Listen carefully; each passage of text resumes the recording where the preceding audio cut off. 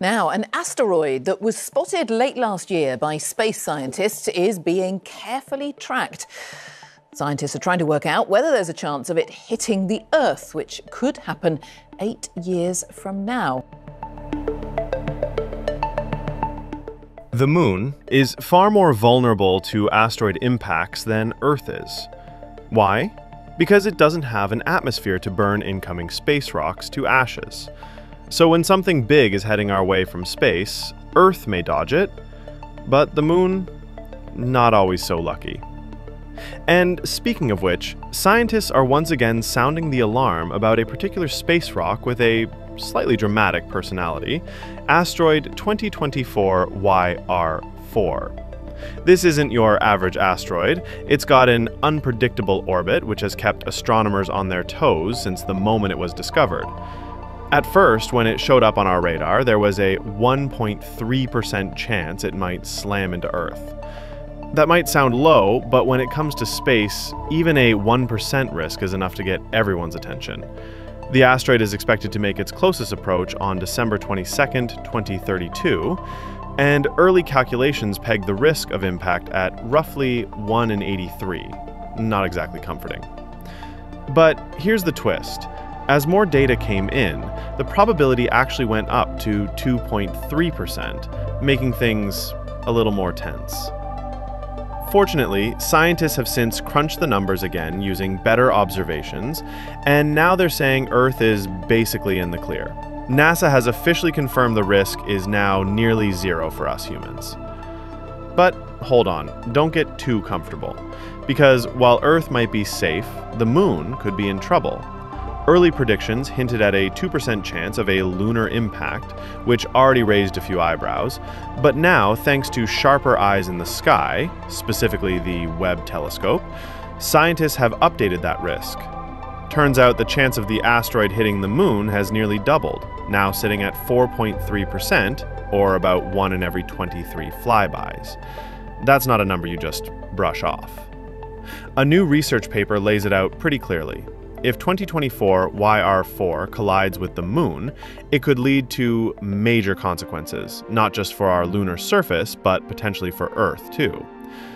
Depending on the exact size, estimated to be somewhere between 40 and 90 meters in diameter, it could do some serious damage. To put that in perspective, NASA believes this asteroid is around 54 meters across, which is eerily similar to the size of the object that caused the infamous Tunguska explosion in 1908. Remember that? A mysterious blast over Siberia that flattened over 2,000 square kilometers of forest without even touching the ground? The shock waves shattered windows hundreds of kilometers away, and the energy released, equivalent to several megaton bombs going off, Back in 1908, the remote wilderness of Siberia gave humanity a lucky break.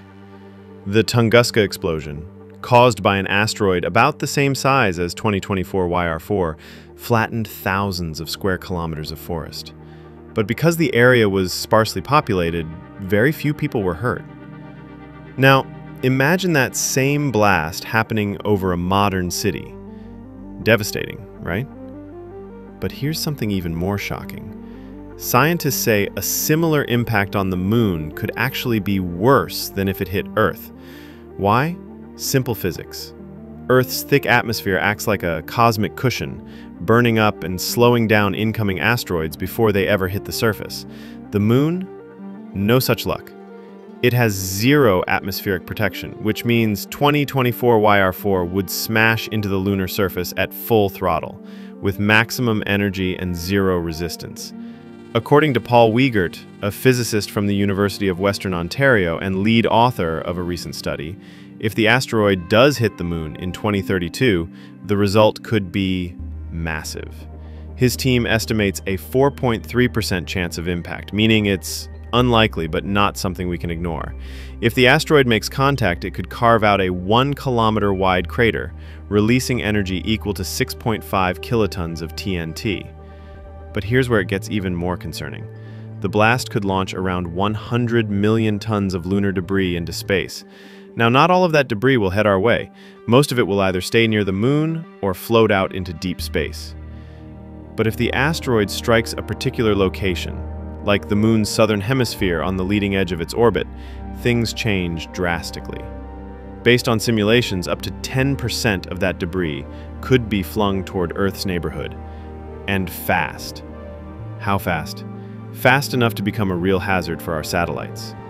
Wiegert's team ran a whopping 10,000 simulations of the asteroid's possible paths. In 410 of them, the asteroid hit the moon. From those, they examined a few high-risk scenarios more closely. In at least four of those simulated impacts, debris escaped at escape velocity and headed straight for near-Earth space. This debris isn't just space dust. It's high-speed ejecta, moving quickly enough to pose a serious threat to satellites, especially those in low Earth orbit, LEO. And here's the thing, nearly 90% of our active satellites live in LEO. That includes everything from weather satellites to GPS systems and communication network. If even a small fraction of that lunar debris hits these satellites, it could lead to accelerated wear, permanent damage, or even catastrophic collisions. And unlike typical space junk, which we can often track and avoid, this debris could arrive suddenly and unpredictably, making it a much tougher challenge to mitigate.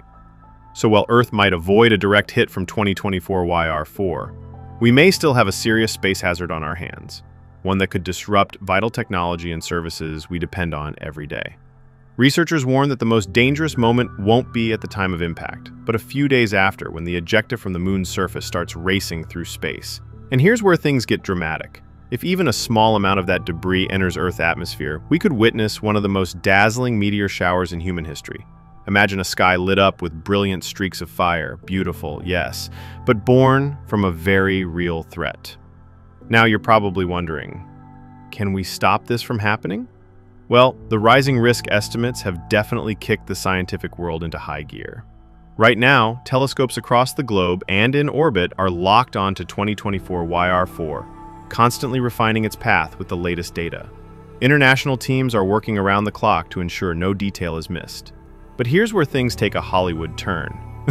Some researchers are seriously exploring a nuclear deflection strategy. Sounds like something out of Armageddon, right? But in reality, it's a lot less about Bruce Willis and drills and more about advanced robotics, physics, and careful planning. The goal wouldn't be to blow the asteroid to bits, that would just turn one problem into thousands. Instead, the plan is to gently nudge the asteroid off course using what's called momentum transfer. Here's how it would work. A robotic spacecraft equipped with a nuclear device would launch on a precision-guided mission toward the asteroid. But instead of slamming into it, the nuke would be detonated at a specific distance. The heat and radiation would vaporize a small portion of the asteroid's surface, creating a burst of gas and debris, like a mini rocket blast, that would push the asteroid just enough to change its course and avoid a collision. It's bold. It's risky, and it's not without complications. Technical hurdles, political debates, and legal questions make this a last resort strategy. But scientists are taking it seriously. Why? Because not long ago, NASA ran a simulated emergency. They imagined an asteroid heading toward Earth with a 72% chance of impact, and only 14 years to stop it. The result? We failed. With current technology and no early warning, we simply couldn't prevent it. So if a real threat ever emerges, be it 2024 YR4 or another lurking object, we need to be ready. And as of now, we're not. So what do you think? Should we be investing more in asteroid defense systems? Are we doing enough? Drop your thoughts in the comments. We'd love to hear your take. If you enjoyed this deep dive into cosmic threats and planetary defense, consider supporting our channel. Until next time, keep looking up, because space isn't just fascinating, it might be our next big challenge.